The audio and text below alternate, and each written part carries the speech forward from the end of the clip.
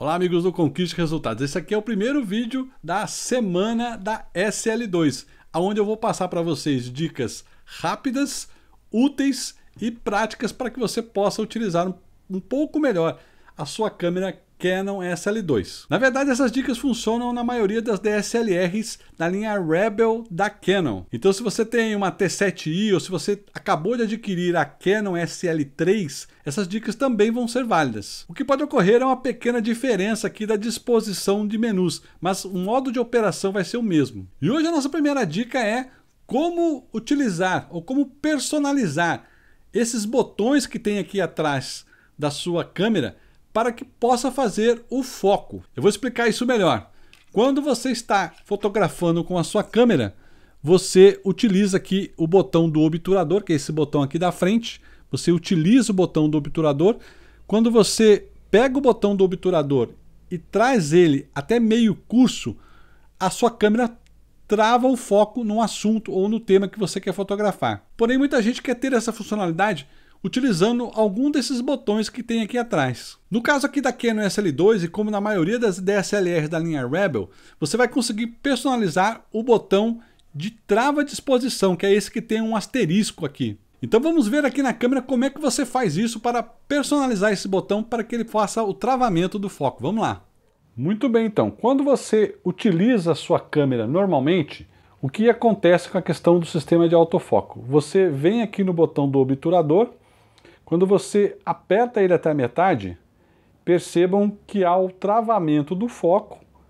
Ali você tem as marcações em verde ali na tela. Ó, e quando você aperta o botão, você efetua o disparo e faz a captura da foto. Se você utilizar esse botão aqui de asterisco, quando você aperta ele aqui, ó, você trava a exposição. Perceba que aparece um asterisco aqui.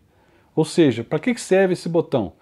Vamos supor que você está tentando fotografar esta imagem aí, esse tema, e ele está um pouco escuro, está, sub, está subexposto.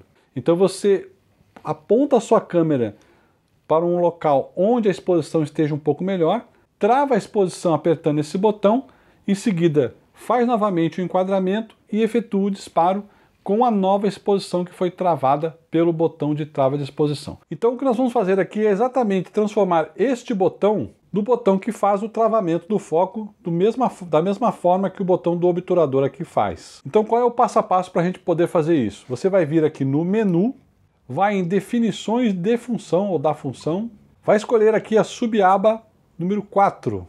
E aí você vai ter a primeira opção aqui que é funções personalizadas você escolhe ela, e aí você vai ver aqui que cada tela tem uma numeração. Ó. Essa aqui é a primeira tela, você vai então andando aqui até chegar na última tela, a tela de número 8. E aqui então você vai ter as opções aí de alternar o botão de bloqueio de exposição para uma outra função. Nós vamos escolher aqui então a opção número 1, que é bloqueio AE Eu dou o OK e aperto o botão do menu várias vezes para a gente poder sair e voltar para o Live View. Voltamos então para o Live View. Percebam agora, quando eu aperto o botão de trava de exposição, ele é que faz ali o travamento do foco e o botão do obturador vai fazer o travamento da exposição quando você aperta ele até a metade. Vamos ver novamente, ó.